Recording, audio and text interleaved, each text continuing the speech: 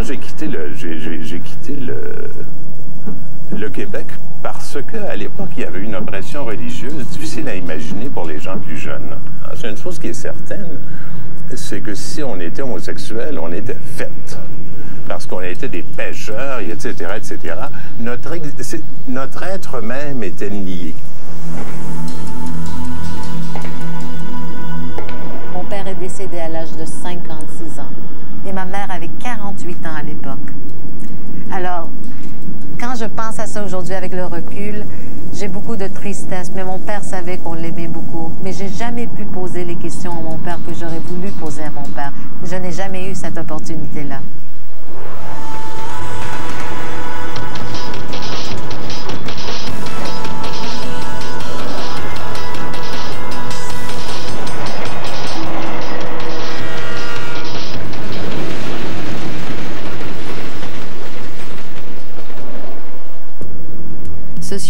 Écrivain, animateur, chroniqueur et grand communicateur, Daniel Pinard a collaboré à plusieurs émissions de télévision avant de prendre la barre des émissions gastronomiques fort populaires. Pour plusieurs, il est devenu le roi de la cuisine. Au début des années 2000, la sainte colère de Daniel Pinard contre un humour mesquin, voire homophobe, a suscité de vives réactions de part et d'autre. Propos et confidences d'un être peu banal. Je ne peux pas croire que je suis ici. Merci beaucoup d'avoir accepté. je sens que tu le regrettes déjà. Non, pas vraiment. OK, c'est après. Et tu me tutoies, je suis ravi. OK. J'avais peur que tu ne me vouvoies. Non, parce que le vouvoiement, pour toi, a une signification très importante. Ah oui, absolument. Mais c'est que quand j'étais enfant, il y a de cela, comme disait euh, ma tante, comment est-ce que ça s'appelait? Tante, tante Lucille. OK. Il y a de cela de nombreuses années. Alors, les bonnes sœurs nous vous voyaient, nous appelaient monsieur. J'allais à l'époque au Mont Jésus-Marie. Alors, elle te disait, Monsieur Pinard, venez. Paf! Oh. Ce qui fait que pour moi, le vouvoiement n'a rien de la distance Au contraire, c'est même très méchant, très, très, Oui, ça y va, hein? Daniel, quand on est malade jeune, tu as eu la polio très, très jeune, est-ce qu'on part avec une certaine fragilité en disant, toute ma vie, je devrais faire attention à ma santé? Non, parce qu'à l'époque, on ne le savait pas. Je le sais maintenant parce qu'il y a certaines douleurs qui arrivent et qui ne sont pas simplement dues à l'âge. Mm. Alors, certaines explications que l'on te donne à ce moment-là sont de l'ordre suivant, c'est que la destruction des nerfs, des terminaisons nerveuses pendant la polio, fait que le corps a dû prendre les synapses de réserve, ce qui fait qu'on n'a pas de synapses de réserve. Donc, est-ce qu'il y a des recherches qui sont faites là-dessus? Non. Il y a des gens qui en sont morts aussi. Oui. Et à l'époque, on te soignait en te disant que de, réduire au maximum toute forme d'exercice physique. Ce qui fait que je n'étais pas autorisé à courir et je ne pouvais pas faire grand-chose. Et donc, euh, je me souviens encore, je passais euh, de nombreuses heures assis sur le haut de l'escalier euh, à attendre. Attendre quoi? Je ne sais trop. Godot n'est jamais arrivé. Mais donc, j'étais là, ayant froid et m'ennuyant.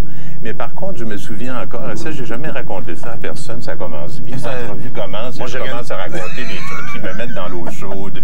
C'est ce qu'on appelle un squelette, mais celui-là, c'est un vrai squelette. Ah, on sort du placard, là. Et alors, je me souviens que quand arrivait ou quand passait des, ce qu'on appelait à l'époque des infirmes, je me mettais à rire aux éclats et j'appelais ma mère un infirme, un infirme. Pourquoi? Je comprends maintenant que c'est que j'avais peur que ça m'arrive et que ce genre de paralysie, entre guillemets, m'inquiétait. Et je ne m'en moquais pas, je trouvais ça charmant.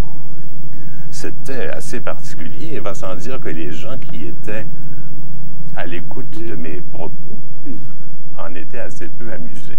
C'est là que vous disiez que votre mère vous attachait? Oui. Sur la galerie, quelque part, et le Ah. voisin venait oui. vous détacher, incapable après de vous rattacher de nouveau de la même façon que votre mère le faisait? J'ai appris en sociologie des siècles plus tard que les humains ont souvent le besoin d'être dominés. Pourquoi? Parce que ça les empêche de choisir et que choisir est toujours quelque chose de difficile Oui. et d'ardu. J'ai appris ça en sociologie, mais j'ai appris ça aussi parce que je sonnais effectivement à la porte. Quand Garneau, c'est le poète qui venait me, me détacher. Il habitait de l'autre côté de la rue. Et je me rappelle de ça comme si c'était hier. Et j'allais chercher à la pharmacie Le Duc avec lui un cornet à la fraise. Je me rappelle encore de ça et c'était pour moi le bonheur absolu. Mais pourquoi votre mère vous attachait? Parce que les médecins ne voulaient pas que tu bouges et? Que euh, elle ne voulait pas que je bouge. D'une façon très claire, dans mon cas, c'est que j'ai quand même été réchappé sans séquelles ou à peu près Oui. De cette maladie. Peut-être grâce à ça. Oui. Est-ce que la liberté, c'est quelque chose qui vous définit, Daniel? Parce que Dans ça dépend ce qu'on veut dire par là. Le libre penseur, moi, j'ai j'ai entendu dire haut et fort des choses que pas grand monde pourrait assumer et dire. Ben, je pense qu'il faut savoir résister. Je pense qu'il faut résister. Parce que si nous ne résistions pas, Résister à quoi, Daniel? résister à tout, il faut s'interroger sur tout. Oui. Il faut ne rien croire au départ. Il faut douter de tout. Pourquoi faut-il douter de tout? Parce que si on ne doutait de rien et qu'on croyait tout, Oui.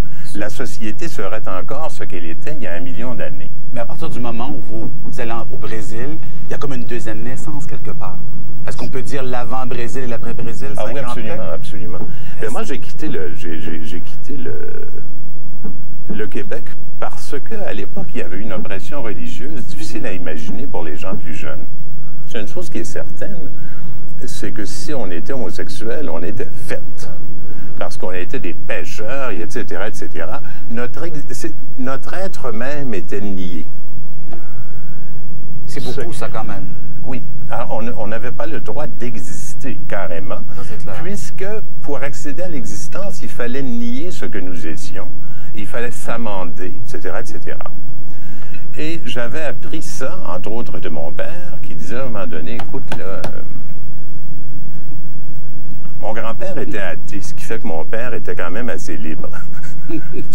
Et alors, donc, bon, euh, mais pour, ce, pour, pour cette question d'orientation sexuelle, à l'époque, même mes parents, qui autrement auraient dû être assez éclairés, avaient comme l'impression que j'avais choisi ça par bravade. que Je m'étais levé un matin, je dis, je vais être comme André Gide, ou je vais être le Jean Cocteau des pauvres, ou etc. là. Et comprenaient pas que... Mais il y a eu quand même une réaction violente de votre mère. Elle m'a dit, ton père va en mourir.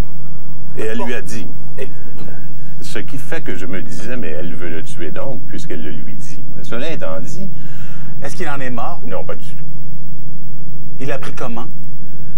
Il l'a appris parce que ma mère avait un- une notion très diffuse de la vie privée. Ça veut dire quoi, très diffuse?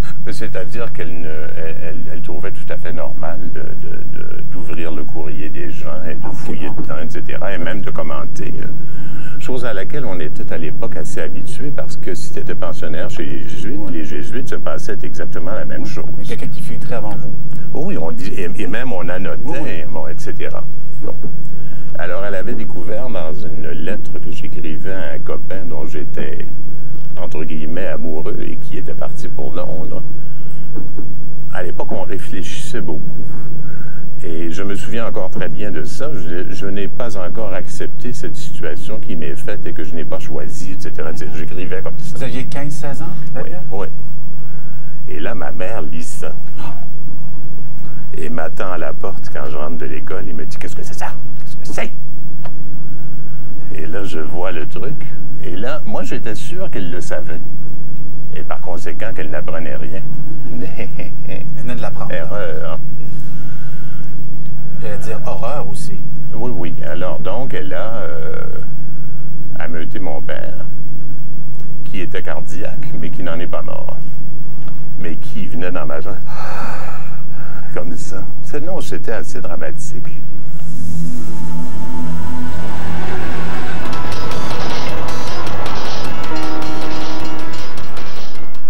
C'est pas Jean-Louis Millette qui disait on ne s'habitue pas à la condition, entre guillemets, homosexuelle. Il disait euh, je ne suis pas maître de mes désirs. Avez-vous l'impression que justement ça entrave un peu, beaucoup, à cette forme de liberté-là, quand on sait qu'on on n'a pas choisi cette condition-là, pour reprendre un mot que vous avez pris tout à l'heure? Jean-Louis allait beaucoup plus loin. Euh, comme tu sais, j'étais très proche de Jean-Louis. Et euh, pour Jean-Louis, c'est l'existence même qui posait question. C'est-à-dire que Jean-Louis écoutait, il parlait peu, sauf quand il était sur scène. Mais Dieu sait qu'il savait écouter. Et je me souviens à la fin de sa vie, que je pressentais. J'ai... Ça, c'est très étrange à dire, mais je te jure que je le revois encore. On était allé bouffer dans un resto qui s'appelle le Moulin qui était pas loin de chez lui. Et Jean-Louis avait, comme moi, un problème d'alcool, sérieux, comme moi. Et on s'aidait en se disant, hey, là, là, bon, j'espère que tu te calmes un peu, là. Bon. Et Jean-Louis n'osait jamais me dire jusqu'à quel point ça lui faisait problème. Et alors, un jour, je décide, malgré lui, que nous allions aller au Moulin Et moi, c'était simplement parce que j'adore Tintin, que j'étais jamais allé à un endroit qui s'appelle le Moulin Et je ne savais pas que Jean-Louis y allait sans. Et là, il a et, dit, comme d'habitude, je vous apporte une double vodka. Et là, Jean-Louis me regarde un peu décontenancé. Non pas qu'il me cachait ça, c'est pas vrai. Mais bon, et je le sentais angoissé. Il rentrait d'un examen médical complet. Il était très inquiet de sa santé souvent. Et je lui disais toujours, ces examens-là ne veulent rien dire. D'ailleurs, on venait de décréter qu'il était parfaitement en santé. Bon. Et ce jour-là, il pleuvait. Et il avait une sorte de manteau très long, qui était presque théâtral, hein, et que j'avais jamais remarqué, mais qu'il portait sans arrêt. Je n'avais jamais remarqué comme ça. Et alors, quand on est sorti du resto, il est parti à pied vers chez lui. Et je l'ai vu aller comme si c'était la dernière fois. Que tu m'as eu? Je m'étais juré de pas brailler. je t'ai pas eu, je t'écoute, Daniel. Excuse-moi. Ça, là. Combien de temps dans sa mort, Daniel? Sept, huit jours. Mais j'avais fait plusieurs entrevues avec lui pour la télé. Magnifique d'ailleurs. Et je l'avais obligé à confronter la mort parce qu'il ne voulait pas. Et je lui disais, qu'est-ce que tu veux qu'on écrive sur ta pierre tombale? Je me souviens de lui avoir posé cette question. Il a répondu ou pas? Oui, il m'avait cité Godot. Elles naissent pour chevaucher les tombes. Quelque chose comme ça. La vie est si courte et n'a aucun autre sens que la mort qui arrive à la fin. Et il est mort le 29 septembre 1999 il est mort dans la solitude. On est seul et on meurt seul. Et d'ailleurs, j'ajouterais même qu'on vit seul. Et que les rencontres et les liens que l'on a, qui sont si ténus, ne sont que des. sont parfois des promesses remplies, mais pas toujours. Ténus dans le sens fragile, dans le sens. ça ne tient à rien? Ce qui fait que le métier que tu exerces et que j'ai exercé est un métier fabuleux. C'est qu'on n'est plus vrai à la télé que dans la vie. Et ça, je répète ça. Pourquoi? Parce qu'on ne peut pas mentir à la télé. Parce que trop de monde nous connaissent. Et qu'on ne peut pas s'inventer autre chose que ce que l'on est. Dans l'intimité, on ment, Daniel? Ben, C'est-à-dire qu'on a certaines façades, par exemple. On peut cacher son inquiétude devant quelqu'un. Euh, bon. La vie est un théâtre. On est. Bon. On joue un certain rôle, dit-on. Moi, je crois que c'est presque toujours vrai, sauf à la télé où je suis très persuadé que la vérité sort pas par la bouche des enfants, mais par la bouche du Kodak. Ouais. Ce qui est étonnant quand on lit sur toi, c'est qu'il y a peu de choses. Ce qu'on constate, c'est que tu es à l'antithèse de l'image qu'on fait de toi, c'est-à-dire extrêmement timide, c'est vrai? Oui. Euh, pas gourmand du tout? Moi, j'aime nourrir les autres. Ben, c'est ça. Il paraît Pourquoi c'est presque une pathologie. D'ailleurs, je me rends compte de ça. Je deviens fou si je n'ai pas quelqu'un à nourrir. Et alors, bon. Donc, il m'arrive de faire la bouffe comme si j'attendais quelqu'un. Est-ce qu'il y a un plaisir à manger seul? Non. Il faut apprendre cependant lentement, j'ai l'impression, à s'aimer assez. Ça, c'est un, ça, c'est, un cliché que j'ai, c'est bien celui-là. Oui, mais en même temps, il est vrai. Aime-toi. Mais c'est-à-dire que le mot aimer est un peu ridicule. J'ai, Apprivoiser. J'ai l'impression que ce n'est pas soi que l'on doit aimer quand on mange convenablement, mais la nature que l'on remercie d'être ce qu'elle est, ce qui n'est pas du tout la même chose. Et que de manger debout à la course et sans respect pour ce que l'on mange, est, malsain pour la nature et non pas pour soi. C'est con pour soi. Et donc, je m'oblige, même quand je suis seul, à mettre un apron, mettre la table. Bon, ça m'arrive rarement. Et te dérange la solitude parfois, Daniel? Pas du tout. Tu vis bien dans la solitude? Je ne vis que parce que j'ai des moments longs euh, de solitude. Les, les moments de solitude servent à nourrir les moments où on est avec les autres. Euh, Sinon, on ne peut pas être là. On ne peut pas être toujours partout pour les autres. C'est- pas vrai. Et donc, euh, mais cette solitude, elle est quand même meublée. Euh, je lis presque compulsivement ou, ou j'écoute. Dans le moment, j'écoute La Ferrière. C'est hallucinant. Des livres audio? Magnifique. Les lignes du retour? Oui, Magnifique. C'est tellement extraordinaire que c'est extrêmement. C'est comme, c'est comme du vinaigre balsamique, le vrai. Alors, où t'en prends trois gouttes, puis tu veux mourir tellement c'est extraordinaire et t'arrêtes, parce que sinon tu vas exploser. De bonheur. Oui, il y a chez lui toute la question du déracinement où il a dit une phrase qui peut être perçue comme une phrase prétentieuse, mais qui, je crois, est le cœur même de la vie. Qui dit on ne peut prendre racine si on n'a pas été déraciné. On ne sait pas d'où on vient si on n'en est pas parti.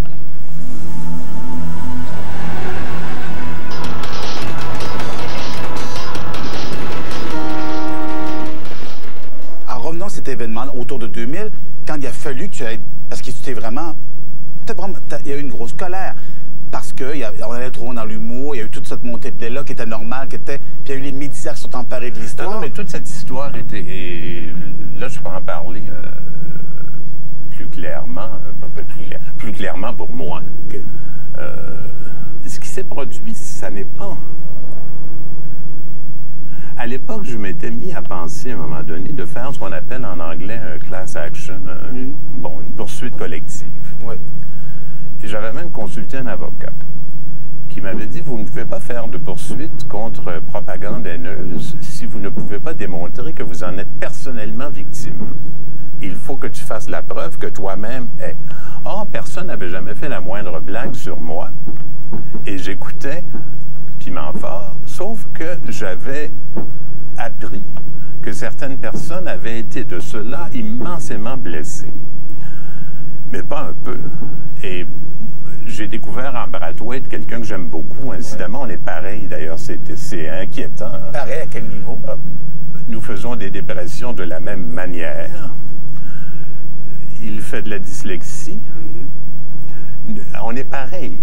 Et moi, je ne le connaissais pas à l'époque, je l'ai connu après. Et je l'ai trouvé très attachant et très bon. Moi, je ne savais pas d'une part que ça éclaterait en disant Pinard s'en prend aux humoristes. Je m'en dis jamais trop aux humoristes. Euh, je savais d'autre part que les humoristes qui passaient à ce show n'écrivaient pas les blagues. Alors, quand ils ont fait la blague, parce qu'il n'y en a eu qu'une seule, après on a dit Pinard se faisait sans arrêt attaquer par eux, c'est pour ça qu'il s'est fâché. C'est pas vrai du tout. Ils ont fait une blague. Et quand je l'ai entendu, je me suis rendu compte que ça me blessait profondément, à mon étonnement absolu. Je ne m'attendais pas du tout à ce que ça me blesse. Pourquoi ça te blessait Je ne autant? sais pas. Je continue à pas le savoir. Je sais pas. Mais, cependant, j'ai pu comprendre. Écoute, je me rappelle quand j'étais enfant, là, quand on parle de violence à l'école, de trucs antiqués, etc., j'étais le premier à faire des farces anti-tapettes. Ça me permettait d'avoir l'air mal. Bon. Je disais des choses effrayantes aux gens sans m'en rendre compte à l'époque. Et que quand on est un enfant, on est méchant. Si quelqu'un m'avait dit, Pinard, tu ris pas mal trop des tapettes, as-tu un problème? J'aurais immédiatement dit oui. Parce que je l'aurais reconnu, je ne le savais pas. Mais quand tu as vu là, que ça prenait ces propensions-là, c'était devenu tout. C'est devenu le délire complet. Et ça a créé une espèce de querelle un peu, j'appelais dire, un peu imaginaire entre toi et Normand. Ça a pris des proportions immenses. Est-ce que là, tu as commencé à te sentir petit en disant Oh, qu'est-ce que je viens de créer malgré moi? C'est-à-dire que j'ai compris des choses à cause des. J'ai reçu une quantité phénoménale de courriels. Et je me souviens à l'époque d'avoir dit que je n'en recevais jamais des négatifs. J'ai compris des années après que ma copine qui s'en occupait les coupait. Ah. Parce qu'elle ne voulait pas que je lise ça. En disant, t'es déjà assez fragilisé comme ça. T'as été fragilisé par ça, Daniel? Oh mon Dieu. Écoute, c'était. Oui, il n'y a pas que Brad White qui s'est fait emmerder. Non, mais c'était incroyable parce que tu sais qu'au même moment, je pense qu'il te l'a confié, qu'au même moment où toi, tu n'allais pas bien, lui non plus, allait pas bien. Je sais. Sa plus grande dépression est causée un peu par tous ces événements-là. Un enfant m'a écrit une lettre, un, un courriel disant euh, euh, j'ai appris en t'écoutant que je peux me que j'ai quand même de l'espoir. Je bégaye tellement Oui, que quand on ça j'ai trouvé ça j'ai trouvé ça très dur en même temps que j'en étais heureux d'avoir permis. Mais je ne me rendais pas compte que la misère était si large, d'une part, et d'autre part, j'ai compris en lisant ça que j'avais moi-même été tortionnaire à l'école. Ce que je m'étais caché. J'étais assez cinglant. Donc, c'est l'inverse maintenant. Tu as vécu quelque chose d'autre à l'inverse? Ben, C'est-à-dire que ça m'a permis de comprendre que je n'étais pas plus fin ni plus beau que les autres, d'une part, que j'étais pas moins méchant que les autres, et, et- et que, et que je n'avais pas voulu, par cette sortie-là, dire regardez-moi, euh, bon, et je voudrais bien que comme moi, euh, pas ça du tout. Euh, quand, quand, euh, Tu étais mal compris? non. J'ai t'es mal compris- exprimé? j'ai été- non, j'ai été compris partiellement. Je me rendais pas compte que- de l'effet média. Écoute, le matin, j'allais chercher les journaux à quelques pas de chez moi. Et c'était une jeune femme tout à fait charmante à qui je parlais de, tout et de rien en achetant mon journal, etc. Et qui, j'arrive là, elle est presque en larmes et je lui dis il y a quelque chose qui va pas. Et elle me montre le, dessus de la page 1 du Journal de Montréal qui disait Pinard à vous, son nom, comme ça on m'avait torsionné pour le dire. Et là, je lui. J'en revenais pas, le truc n'était pas sorti encore. Le, le show allait être euh, ce soir-là. Elle me dit, moi aussi. Hmm. Je ne m'en doutais pas du tout. Et là, j'aurais dû comprendre dès là que, paf, ça venait de toucher énormément de monde. Est-ce que je le referais? Sans doute. Ah oui? Ah oui, je le referais. Je ne le referais pas sur ce ton, cependant. Tu le définis comment, ce ton-là? Ben, C'est-à-dire que j'ai fait quelque chose qui me semble correct, mais qui était injuste d'une certaine façon. C'est que je m'en prenais à Bradway le nommant. Mais moi, je continue à penser que les gens qui font notre métier et qui disent des textes, que ce soit eux qui les aient écrits ou pas, Ils en ont sont responsabilité. responsables. Ça, ils ont une responsabilité. Pointe à la ligne. Bon, et je continue à penser ça. Par contre, on peut vivre ce métier-là sans trop s'en rendre compte. Ça, je me... Bon. Ce qui était son cas, il ne se rendait pas compte. euh, Parce qu'ils travaillaient beaucoup. entre autres. Mais vous avez un autre point commun. Vous êtes tous les deux workaholics. Tu Oui. dis. Oui. Lui aussi l'a avoué. Euh, Travailler autant, est-ce que c'est de fuir quelque chose? Parce que là, tu es presque semi-retraité maintenant, Daniel. C'est que j'ai jamais autant travaillé que maintenant. Quand tu regardes dans le rétroviseur, je sais pas si tu fais ça à l'occasion, dans ton rétroviseur à toi, c'est-à-dire la vie que tu as eue jusqu'à maintenant, est-ce que ça te satisfait? Ben là, est-on jamais satisfait de soi-même si je on te pose lit un question. problème? L'es-tu un peu? Je trouve que ça a assez duré. Ça veut pas dire que j'en ai marre, Ah, qu'est-ce qui a assez duré? la vie. Mais ce que je veux dire, c'est que c'est comme un repas, et c'est comme, c'est comme la ferrière, et c'est comme le, c'est comme le vinaigre balsamique. Toute bonne chose en une fin? À un moment donné, tu dis, bon, place aux autres. Ah, t'es rendu là? Ben, c'est-à-dire qu'il faut apprendre lentement. J'ai acheté un petit bouquin qui m'amuse beaucoup par son titre, Devenez bouddhiste en cinq semaines. Alors, je l'ai acheté en me disant qu'en fait, Dans un mois et demi, j'aurais tout compris. Sauf que le bouquin est relativement sérieux et le bouquin t'apprend de façon, me semble-t-il, assez intelligente d'ailleurs, que quand on parle du détachement, ça ne veut pas dire je m'en fous. Non, non, c'est pas ça que ça veut dire. C'est tranquillement se délester. Ce que tu dois apprendre à la longue, c'est que tu n'es pas nécessaire. S'il fallait que je pense qu'à ma mort, le monde arrête, j'aurais un problème. Quelle belle fin. On arrive d'ailleurs On arrive à notre destination, destination. Ah non, mais c'est charmant. Mais oh, c'est magnifique. Tu me dis que tu serais. Tu es en train de me dire que tu es presque prêt à mourir. C'est un peu ça que tu me dis. Ben oui. Oui, mais ça, écoute, je connais des gens qui sont, qui sont sains d'esprit, qui sont tout à fait corrects, là, et qui sont déjà prêts à mourir à 30 ans. Ça ne veut pas dire qu'ils n'auront pas de plaisir et qu'ils ne vivront pas jusqu'à 80. En tout cas, je peux te souhaiter quand même longue vie. Ben là, elle est déjà longue. Ah, OK. Tu ne souhaites donc rien. Merci, Daniel. Mais ce qu'on- c'est de l'eau. Imagine-toi. Merci beaucoup. Sur quoi t'as le plus frappé quand tu venu dans cette période plus difficile? Ben, premièrement, je me suis demandé si je voulais continuer à faire ce métier. Jusque-là? Oui, je me suis posé la question. Oui.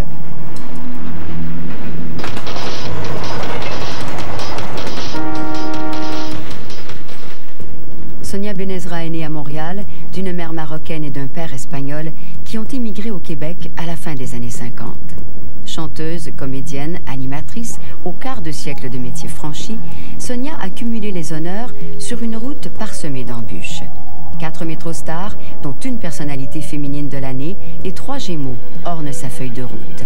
Retour en arrière, regard obligatoire dans le rétroviseur pour une intervieweuse interviewée. Quand tu revenais le soir après ces prix-là, c'est vrai que tu disais, excusez-moi, dois aller retourner travailler mes dossiers de recherche pour le lendemain. Oui, il faut vraiment apprendre à vivre ces moments. Et sur le coup, j'avais trop peur de vivre mes moments parce que je Pourquoi? voulais parce que je voulais pas décevoir le public. Déjà, ils me donnaient un trophée pour me dire t'es la meilleure, on t'aime.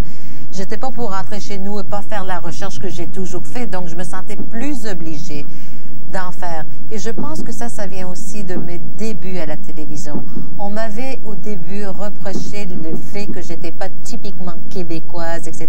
Donc je me suis sentie obligée de travailler plus fort que les autres. Pour mériter, Oui, pour, ne, pour prouver que je n'avais pas volé ma place. Et ces habitudes sont restées avec moi. Maintenant, quand j'ai quelque chose de personnel, je me sens, je peux pas dire pas coupable parce que je suis pas rendue là encore, mais beaucoup moins coupable. Je le mets dans mon agenda comme je vais mettre ma journée de travail, les entrevues que j'ai à faire, euh, les, les rendez-vous chez le médecin. De la même façon, je vais mettre le lunch avec mon ami, ce que je n'ai jamais fait avant. avant jamais. Non, parce que s'il y avait quelque chose à annuler, c'était toujours la chose personnelle. Mais je me sentais toujours coupable quand je faisais quelque chose qui était pour moi. Parce que tu te définissais que par le travail? Oui, Est-ce que tu te sentais seule? oui. Je me suis sentie, j'étais pas très gentille durant cette période euh, aux gens, tu sais, non, dans ma vie privée. Parce que j'étais très fatiguée quand je finissais ma journée de travail. Je rentrais à la maison, je ne voulais pas parler. Donc, euh, ma- mes sœurs et ma mère, ils étaient très négligés durant cette période. Ma meilleure amie, Eliane, je l'ai rarement vue durant cette période où j'avais mon quotidien. Elle m'appelait de temps à autre parce qu'elle savait que j'étais fatiguée, puis j'avais un ton de voix où tu savais que, oups, tu sais, c'est bizarre, les gens savent pas ça de moi, mais j'ai, c'est comme ça que je deal avec mon stress. Donc, tu étais désagréable? Désagréable parfois avec ceux qui m'entouraient de proches. Qui, je savais qu'ils allaient pas appeler éco-vedette pour dire hey, Donc, ma t'es pas que ça? ma sœur est une bitch. je savais que mes sœurs allaient pas faire ça. Et j'ai beaucoup de. Et ça, c'est horrible. Des fois, je dis à mes sœurs, excuse-moi, j'étais vraiment pas. Mais, mais Donc, t'es pas une vraie fille? Je suis pas une vraie fille. C'est ça ce Ah. que j'ai découvert. C'est horrible, hein, mais c'est vrai. Parce que c'est comme. C'est le stress, Fond. stress. C'est le stress. Oui. stress. Non, mais c'est vrai que moi, le stress me fait ça. Tu es très pieuse. La foi est très importante dans ta vie. Est-ce que la culpabilité vient aussi de ça? Oui, ça vient aussi de la façon que j'ai été élevée. Ma mère va être triste d'entendre ça, mais quand on était petite à la maison, on, avait toujours des- de la grande visite, des cousins qui venaient de Toronto, d'Israël, etc. Et quand ils arrivaient chez nous, mes parents nous avaient élevés de façon que tu donnes ton lit à la personne qui est invitée, tu donnes la meilleure assiette à la personne qui est l'invitée. Alors, on a appris toujours à donner le meilleur aux autres. Mais pas à soi, visiblement. Non, non. S'il y avait quelque chose, une assiette qui était moins belle, c'était toi qui la prenais pour que l'autre personne ne voit, ne, ne voit pas cette assiette. Aujourd'hui, euh, ma mère regrette beaucoup ça, mais moi, je... je- Elle le regrette? Oh oui, elle regrette. Vous que- parlé ensemble de oui, ça? oui, oui. On a parlé beaucoup de, de beaucoup de choses. Je parle beaucoup avec ma mère. Quand arrive le cancer du sein de ta mère, quelque part à la fin des années 90, Ah. Oui. étrangement après Benezra, Oui. si je comprends bien, Oui. est-ce que tu as eu peur de la perdre? Tu veux savoir la vérité? Je pensais qu'ils avaient fait une gaffe. J'ai dit, c'est pas possible, je- ma mère n'est pas malade. Le mauvais diagnostic. Oui, je sais pas pourquoi, j'avais pas trouvé ça vrai, j'ai pas accepté ou... C'est le déni? Non, je ne sais pas, mais je savais que ma mère allait s'en sortir. Ma mère est allée se faire opérer et la journée même, on t'envoie à la maison avec les tubes, les bandes. C'est comme incroyable ce qu'on fait. Et après ça, pendant tous les traitements de radiothérapie, moi j'avais du temps libre durant cette période où ma mère a été diagnostiquée. C'est pas pour rien, parce que le bon Dieu fait les choses très très bien. Et j'ai pu aller faire les traitements avec ma mère, l'emmener tous les jours. Et je voyais ma mère se préparer avant, puis mettre son petit rouge à lèvres rouge et arranger ses cheveux avec ça, sa belle petite blouse. Et j'étais si fière d'elle, parce qu'elle aurait pu dire, ben, tu sais, je m'en fous. Mais non, ma mère nous, nous a toujours élevés. Tu te prends soin de toi, tu prends soin de tes mains. Une belle présentation et je la voyais faire la même chose pour aller se faire traiter pour un cancer. Et on était, était très, très proches durant cette période. On allait luncher après. Alors, c'était bizarre, c'était quasiment amusant. Mais qu'aurais-tu fait dans un contexte où tu aurais été plus occupé? Non, moi, je, euh, tu sais, Josélie, je pense souvent à ces choses-là. Je pense que, des fois, je me dis que le monde autour de moi ne peut-être vont pas comprendre, mais moi, j'arrête tout si quelqu'un dans ma famille de proche est malade. Je ne me, je peux pas m'imaginer en train de faire semblant que je vais bien si je ne vais pas bien. Parce que chez nous, ça, c'est une chose. Si une de mes sœurs ne se sent pas bien, on est tous inquiets. Si moi, je suis triste, tu ne peux pas t'imaginer l'inquiétude. C'est pour ça que des fois, j'évite d'être triste et je me parle pour que ma famille ne le vit pas. Parce que je trouve ça horrible. Ils l'ont vécu comment, eux, Oh. cette période difficile? Que toi, tu as connue après où, sous les feux de la rampe, il y a eu une grande renommée. Et après ça, des, des choses intéressantes, mais pas aussi flamboyantes qu'elles étaient auparavant. Oui. Elles ont vécu ça comment? Mes sœurs n'ont jamais compris ça. Mes sœurs ont, me disaient, il y a quelque chose de très injuste qu'on ne comprend pas là-dedans. Il y avait de la colère? Hmm, oui, plus que moi. Plus que moi, j'avais. Moi, j'étais juste. J'étais. euh, j'étais comme. Au début, je me blâmais. Je me disais, ben, peut-être, euh, je sais pas, j'ai pas fait quelque chose de bien, je- j'étais pas assez bonne. Mais je le croyais pas vraiment. Je mais je me posais les questions. Il faut se poser les questions. C'est sûr qu'il faudrait que je m'améliore à certains niveaux parce que tout le monde doit évoluer. Mais c'est pas parce que je n'ai pas travaillé ça, je le savais. J'ai passé par la tristesse. Après, j'étais un petit peu amère et je m'aimais pas durant ces